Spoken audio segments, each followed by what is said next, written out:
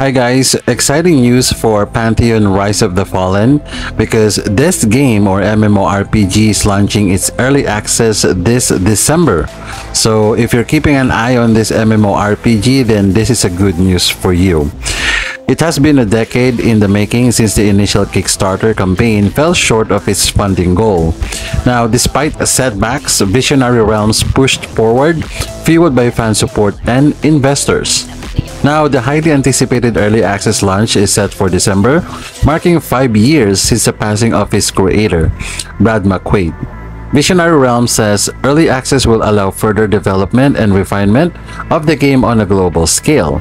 We've nailed every release date since December 2023 and it's time to let more people in.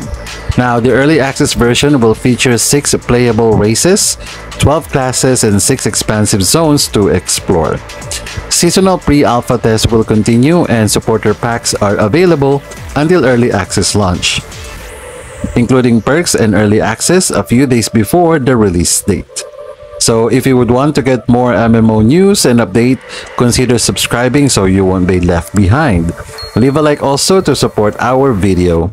Thank you so much again for watching until the end and see you on our next video.